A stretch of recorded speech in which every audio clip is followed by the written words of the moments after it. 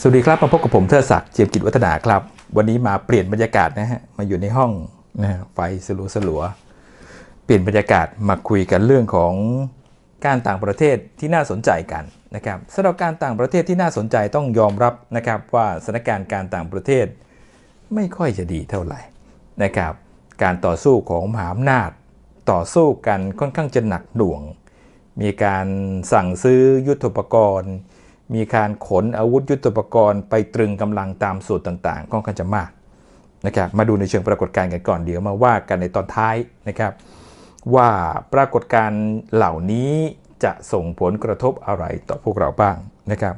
ในฝั่งสหภาพยุโรปโฆษกของ EU เรียกร้องให้รัสเซียปล่อยผู้ประท้วงทันที หลังจากที่มีการจับกลุ่มมากกว่า 500 คนนะสาเหตุเกิดจาก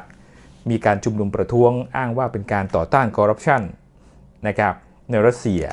ซึ่งในสหรัฐก็มีการชุมนุมเช่นกันนะครับพอมีการชุมนุมรัสเซียมีการจับกลุ่มกลุ่มผู้ชุมนุมขึ้นมา ผลที่ตามมาคือกลุ่มสหภาพยุโรป ซึ่งอยู่ตรงข้ามกับรัสเซีย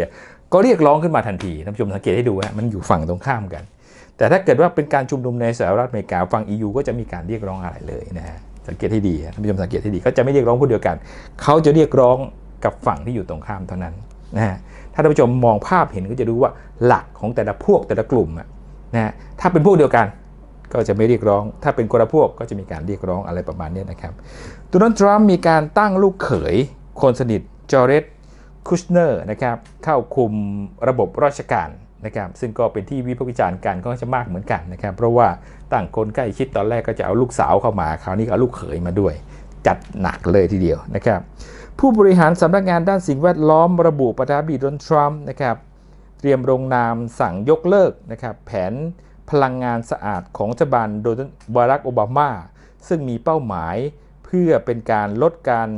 ปล่อยก๊าซเรือนกระจกจากโรงงานไฟฟ้าถ่านหินนะซึ่งก็เป็นแผนที่เขาจะดำเนินการนะครับสำนักข่าวเอเจนซี่รายงานว่าท่ามกลางวิกฤตไม่แน่นอนทางการเมืองของสหรัฐอเมริกา ทำให้ธุรกิจที่สำคัญที่สุดคือบังเกอร์ครับบังเกอร์นะฮะหลุมหลบภัยขายดีเพิ่มสูงถึง 500%ในรัฐบาลสหรัฐอเมริกาในยุคของโดนัลด์ทรัมป์ถ้าเทียบกับยุคก่อนเนี่ยซึ่งเพิ่มขึ้นถึง 250%นะในสมัยของบารักโอบามาบังเกอร์นี่ก็ขายดิบขายดีนะครับสาเหตุส่วนใหญ่ที่มีการเตรียมพร้อมเรื่องบังเกอร์ เพราะว่าคนสหรัฐกำลังวิตกฮะ เขาประเมินว่าอย่างนั้นฮะสำนักข่าว NBC ประเมินอย่างนั้น บอกว่ากำลังประเมินว่าจะเกิดสงครามภายในสหรัฐอเมริกาประกอบกับในสหรัฐอเมริกาเนี่ยมีพายุทอร์นาโดบ่อยๆนะครับก็เลยมีการเตรียมยุทโธปกรณ์เหล่านี้ เพื่อป้องกัน แล้วก็อุปกรณ์การดำรงชีพด้วยนะสองทางในเวลาเดียวกันนะครับแล้วก็มีในห้องที่มีการเตรียมพร้อมเรื่องบังเกอร์ เตรียมพร้อมเรื่องหลุมหลบภัย มี home theater มีสิ่งอำนวยความสะดวกภายในสระว่ายน้องว่ายน้ำนะฮะก็สนที่ราคาก็ประมาณ 45,000 ดอลลาร์ต่อห้องนะมีการเตรียมพร้อมกันขนาดนั้นเลยนะฮะ ก็นั่นชาร์แต่ว่าสถานการณ์ในสหรัฐอเมริกาเนี่ยไม่ค่อยปกติเท่าไหร่ เพราะว่าหลังจากโดนัลด์ทรัมป์เข้ามาดำรงตำแหน่งประธานาธิบดีเนี่ยก็ยังมีฝ่ายต่อต้าน ก็คือฝ่ายบารักโอบามาก็ยังคงต่อต้านอย่างต่อเนื่องนโยบายอะไรที่เป็นของโดนัลด์ทรัมป์นะครับ ฝ่ายบารักโอบามาก็ต่อต้านอะไรที่เป็นนโยบายของบารักโอบามาโดนัลด์ทรัมป์ก็ยกเลิกหมดนะก็เลยเกิดแรงต่อต้านเกิดขึ้น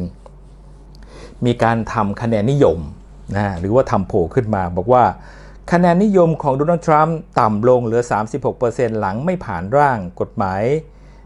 Health Care นะหรือ Obama Care นะ ซึ่งเป็นกฎหมายเหมือนประชานิยมประเทศไทยก็มีการเก็บภาษี แล้วก็จะมาดูแลประชาชน พอยกเลิกตรงนี้ขึ้นมาปุ๊บก็เลยทำให้คะแนนนิยมตก เพราะว่าประโยชน์ตรงนี้มันได้กับประชาชนนะคะแนนนิยมประทำโพมันก็ไม่ได้ก็เป็นหลักทฤษฎีประชานิยม ฝรั่งก็ชอบประชานิยมเหมือนกันนะสำนักข่าวซินหวารายงานว่านายกรัมนตรีฮุนเซนของกัมพูชานะฮะพูดอ้อนเรื่องขอคะแนนเสียงจากประชาชนที่จะมีการเลือกตั้งกลางงานพิธี สร้างโรงเรียนมัธยมศึกษาแห่งหนึ่ง ขณะที่จะมีการเลือกตั้งท้องถิ่นภายในเดือนมิถุนายน อันเนี้ยข่าวเนี้ยสำคัญนะเกี่ยวข้องกับประเทศไทยด้วยนะครับขณะที่ประเทศไทยที่ผมรายงานข่าวอยู่เนี่ยกำลังมีเรื่องของบ่อนสายตะกูมันบ่อนใครอยู่ฝั่งไทยอยู่ฝั่งไหนเนี่ยนะครับ ถ้าไปใช้หลักเดิม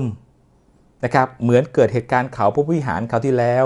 การปักปันเขตแดนพื้นที่เขตแดนเถียงไปเถียงมาไทยก็ต่อต้านพื้นที่เขตแดนนะฮะสิ่งที่ตามมาคือว่า ในเชิงกลยุทธ์ทางการเมืองเนี่ยแน่นอนนะฝั่งกัมพูชาก็จะอาศัยช่วงใกล้มีการเลือกตั้งนี่แหละ สร้างกระแสนิยมเรียกว่าหลักชาตินิยมก่อสงครามกับไทยขึ้นมาทันที ซึ่งเหตุการณ์อย่างนี้ผมอ้างอิงนะครับ เคยเกิดขึ้นมาก่อนแล้ว ในปี 2554 ประมาณนั้นนะฮะ53 ซึ่งตอนนั้นเป็นรัฐบาลในปีก็เกิดเหตุการณ์อย่างนี้ครับ เรื่องมีการเรียกร้องเขตแดน จนมีการจับกลุ่มสสจนมีการจับกลุ่มพี่วิระสมความคิดนะแล้วก็หลายหลายท่านถูกจับกลุ่มไปนะที่ไปตรวจสอบพื้นที่แล้วก็มีการเรียกร้องปักปันเขตแดน มีการขอคนคืนขึ้นมา มีการเรียกร้องเขาประวิหารจะมีการเกิดการประทะเกิดขึ้น พอประทะเกิดขึ้นสิ่งที่ตามมาเกิดอะไรมีการฟ้องศาลโลก ตอนนั้นก็ใกล้มีการเลือกตั้งท้องถิ่นของกัมพูชาพอดี ซึ่งเขาเริ่มเก็บคะแนนเสียงพรรคของฮุนเซนก็เริ่มเก็บคะแนนเสียงนะครับการเมืองก็จะเข้ามาแทรกแซงทันที ถ้าสถานการณ์ปล่อยไปเหมือนแบบนั้นนะครับ เหตุการณ์แบบนี้ ที่เคยอ้างอิงเนี่ยที่ผมพูดถึงเนี่ยมันก็จะกลับมาอีกก็คือจะเกิดสงครามระหว่างไทยกับเขมร ความสัมพันธ์ระหว่างไทยกับเขมรจนถึงขนาดนี้ค่อนข้างจะดีมากนะครับการใช้เรื่องการปักปันเขตแดนพื้นที่เขตแดน ซึ่งเป็นหลักเดิมที่ฝรั่งเศสวางไว้ ถอยทางยุทธศาสตร์แล้วรุกทางยุทธวิธี ปล่อยให้อารยประเทศที่อยู่ใกล้เคียงกัน ไม่ว่าจะเป็นพม่าไทยเขมรเนี่ยทะเลาะกันเอง ไม่ให้เป็นเสถียรภาพความเป็นปึกแผ่นของเอเชียเกิดขึ้นไม่ได้เขาวางหลักเหล่านี้ให้แต่ละฝ่ายเรียกร้องอาณาเขตแล้วให้ทะเลาะกันเอง เพื่อให้เกิดความขัดแย้งแล้วไม่เป็นปึกแผ่น เป็นประโยชน์สำหรับฝั่งสหภาพยุโรปนะฮะท่านผู้ชมของพิจารณาด้วยกันในเชิงยุทธศาสตร์ของชาติ ทุกคนรักชาติ ทุกตารางนิ้วเดียวก็เสียไม่ได้ ฝั่งเขมรก็บอกตารางนิ้วเดียวเขาก็เสียไม่ได้เพราะทุกคนยึดวัฒกรรมเหล่านี้สิ่งที่ตามมาคืออะไรคือความขัดแย้งเอเชียก็เป็นปึกแผ่นไม่ได้ การอยู่ร่วมกันก็ไม่เป็นสุขนะ ซึ่งเรื่องของบอลเนี่ยอย่าไปเดินเกมนะฮะใครไปเล่งเกมขึ้นมา สงครามตามมาทันทีความขัดแย้งระหว่างไทยเขมรเกิดขึ้น เพราะเขมรต้องฉวยโอกาสเนี้ใช้หลักชาตินิยมเข้ามาแล้วก่อสงครามทันที อันนี้อันตรายฮะมีบทเรียนอย่างนี้หลายครั้งแล้วนะฮะตั้งแต่เสียเขาพระวิหาร สมัยก่อนก็ปะทะกันราวปี 2500 นะครับราวปี 2552 53เนี่ยก็เอากันอีกนะ50ปี2550นะก็เอากันอีกนะตอนนั้นก็ 50 ปีเฉลี่ย 50 ปีก็จะมีเหตุการณ์อย่างเงี้ย คือเขาวางหลักยุทธศาสตร์ไว้ 50 ปี มันก็จะเกิดปรากฏการณ์เหล่านี้ตามมาเป็นระยะระยะ อันนี้ก็ต้องเตือนนะฮะท่านผู้ชมด้วยนะที่รับสื่อเนี่ยต้องดูวัตถุหลักให้เข้าใจนะครับพอบสสพม่านะครับป้องปฏิบัติการในยะไข่นะครับชี้เหตุการณ์โจมตีด่านทำให้เกิดการแทรกแซงทางการเมือง ซึ่งเหตุการณ์นี้เกิดขึ้น หลังจากที่ฝั่ง UN นะ อดีตผู้บริหาร UN โคฟีแอนนันเรียกร้องให้มีการดูแลพื้นที่และยกเลิกนะศูนย์ให้ที่พักพิงเป็นศูนย์กักกันนะกลุ่มชนกลุ่มน้อยอของยะไข่ที่มีการถูกจับกลุ่มตัวไป ก็ให้มีการยกเลิกศูนย์นั้นซะนะครับซึ่งพบสสพม่าเนี่ยก็ได้มีการดำเนินการเรื่องของปฏิบัติการดังกล่าวนะครับว่าทั้งหมดเกิดจากมีการโจมตีด่านของทางเจ้าหน้าที่ พอมีการโจมตีด่านของทางเจ้าที่ถิ่งที่ตามมาก็คือต้องมีการตอบโต้แล้วก็มีการกวาดล้างนะครับเพราะส่วนหนึ่งเนี่ยมีฝั่งสหภาพยุโรปเนี่ยไปเรียกร้อง ให้มีการปลุกขึ้นมาแบ่งแยกพม่าเป็น 2 ประกาศให้พื้นที่ยักไข่เป็นเอกเทศเป็นเอกราช แยกตัวออกจากพม่า จึงเป็นที่มาของการกวาดล้างท่านผู้ชมต้องเข้าใจหลักเหล่านี้ก่อนว่า ที่ผ่านมาที่ยักไข่เนี่ยนะเป็นกลุ่มของโรฮิงญา นะครับก็มีการพอเกิดเหตุการณ์ชนะขึ้นก็มีการควบคุมตัวของโฮโลจับกลุ่มผู้ต้องหาโรฮิงญาไว้เอาไปอยู่ในค่ายในค่ายกักกันนะครับทางฝั่งของสหภาพยุโรปซึ่งเคยสนับสนุนกลุ่มโรฮิงญาเนี่ยให้ที่อยู่ในยักษ์ไข่ว่ามีประมาณล้านคนเนี่ยนะครับก็พยายามเรียกร้องสิทธิ์นะก็เพราะว่าเป็นคนของเขาตั้งแต่สมัยยึดพม่าในสมัยอดีตพม่าเคยตกเป็นเมืองขึ้นของอังกฤษเนี่ยฮะพอตกเป็นเมืองขึ้นของอังกฤษก็มีการเรียกร้อง ที่จะให้ดูแลคนแยะไข่ท่านผู้ชมกี่ร้อยปีมาแล้วนึกดูสองสามร้อยปีที่ผ่านมาเขาก็ยังเรียกร้องสิทธิ์กันอยู่ ถ้าเข้าใจอดีตเราจะรู้ว่าเอ๊ะทำไมมันเกิดมีการเรียกร้องแบบนี้เกิดขึ้นนะครับโดยส่วนใหญ่ก็จะเรียกร้องเรียกร้องในเรื่องของสิทธิมนุษยชน ความเป็นมนุษย์เนี่ยเราก็จะเอาองค์กรสิทธิมนุษยชนเข้ามาเรียกร้องทั้งภาครัฐเอกชนก็จะมาเรียกร้องในลักษณะอย่างเงี้ยก็จะมีหลักการประมาณนี้นะฮะ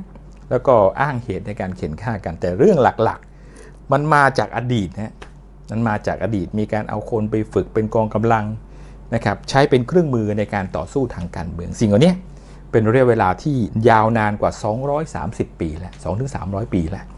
นะครับแต่ก็ยังคงสืบเนื่องจากวันนั้นจนถึงวันนี้ถ้าเข้าใจอดีตนะฮะเราจะรู้ว่าปัจจุบันมันเกิดอะไรขึ้นเราจะรู้ว่าอนาคตเนี่ยข้อตกลงทั้งสองฝ่ายจะจบยังไง แต่ตอนนี้เรื่องของโรฮิงญาซึ่งอยู่ในบริเวณยักษ์รัฐยักษ์ไข่เนี่ยโดยส่วนใหญ่ล้านกว่าคนเนี่ย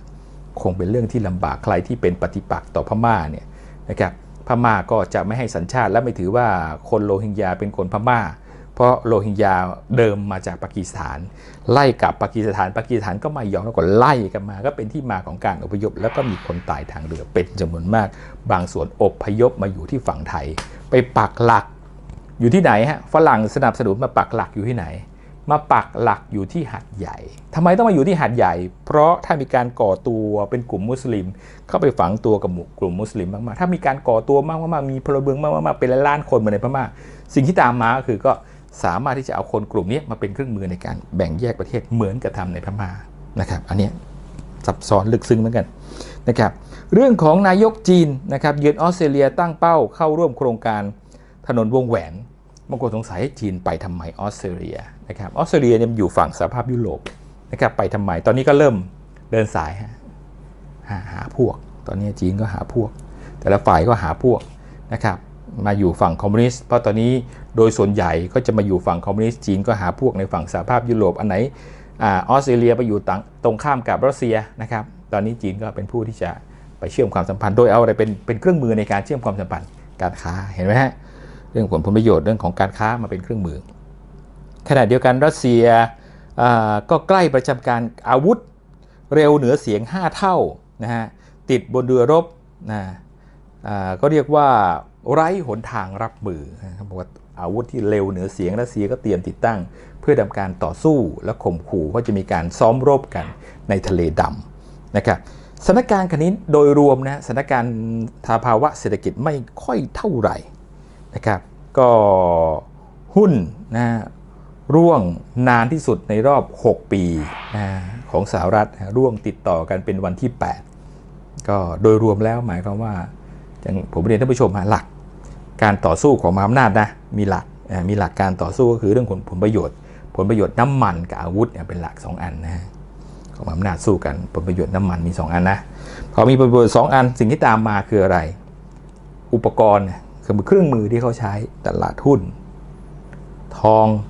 นะครับค่าเงินนะครับก็จะเป็นเครื่องมือสำคัญนะฮะเป็นเครื่องมือสำคัญหุ้นทองค่าเงินนะครับก็จะเป็นเครื่องมือสำคัญในการต่อสู้ทางการเมืองทำให้สภาวะสถานการณ์ขณะนี้น้ำมันยังลดลงนะครับ โดยรวมน้ำมันยังลดลง แต่หุ้นมันเกิดความปั่นป่วนมันไปอันนึงเนี่ยกับมาอันนึงเนี่ยไปอันนึงกับมาอันนึงนะครับโดยรวมสถานการณ์โดยรวมของเศรษฐกิจโลกไม่ดีเอาไว้ง่าย ถามว่าเศรษฐกิจไทยจะดีไหมลำบากเรียนท่านผู้ชมตรงๆว่าเศรษฐกิจไทยก็ลำบากในสถานการณ์ปัจจุบัน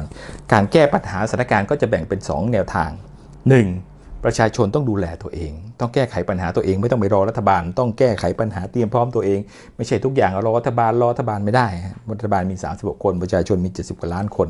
ต้องพึ่งพาตัวเองนะครับ 2 ก็ต้องดูในแนวทางนโยบายของรัฐบาลนะครับรัฐบาลต้องวางแนวทางนโยบายที่ชัดเจน แล้วประชาชนเกิดความเชื่อมั่น จึงจะเกิดการลงทุนภายใน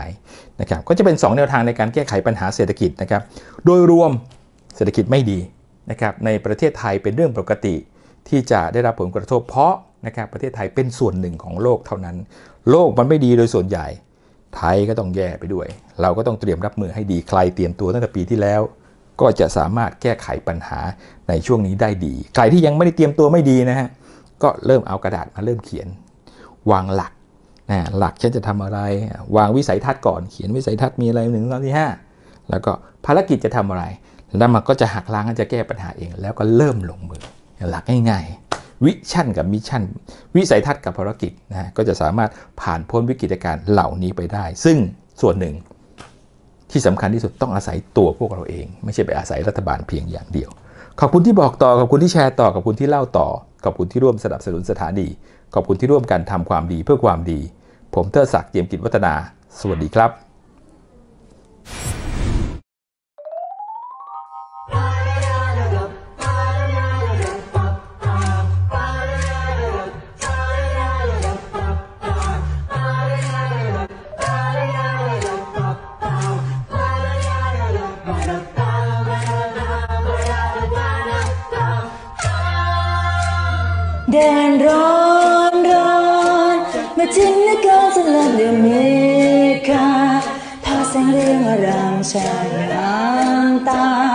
ในนภาสลับจากอัมพร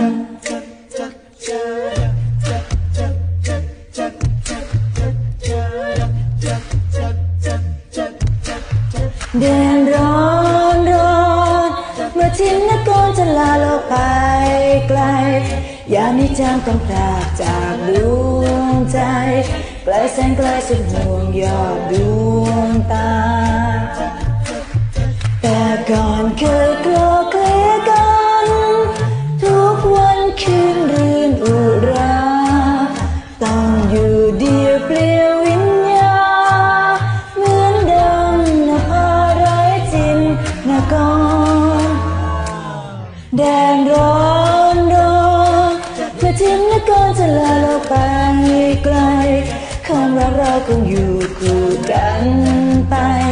ในหัวใจคงอยู่คู่เชยชม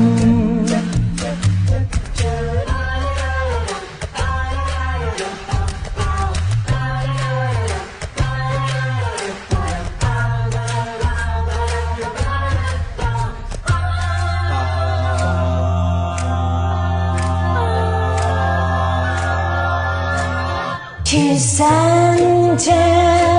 The golden sun turns blue sea Prince heaven goes palm tree. Happy be my love at sundown and tell The multicolored dancing sunbeam Brightly shines on in my heart's dream. Of Havana love at sundown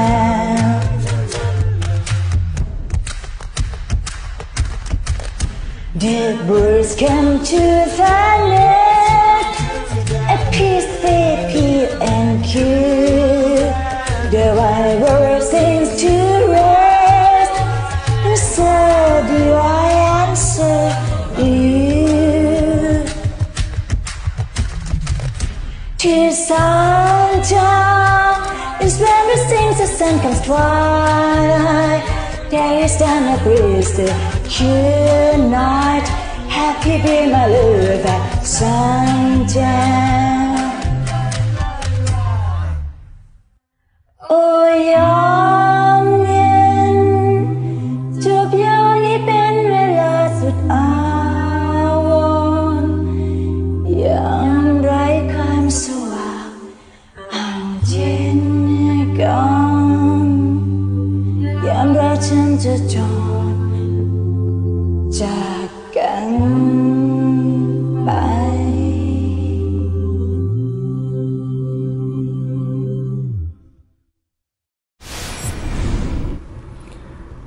หลังจากชมมิวสิกวิดีโอแล้วนะครับ อย่าลืมกด subscribe นะฮะเดี๋ยวกดติดตามที่ใต้คลิปนะฮะแล้วก็อย่าลืมกดกระดิ่งด้วยนะฮะ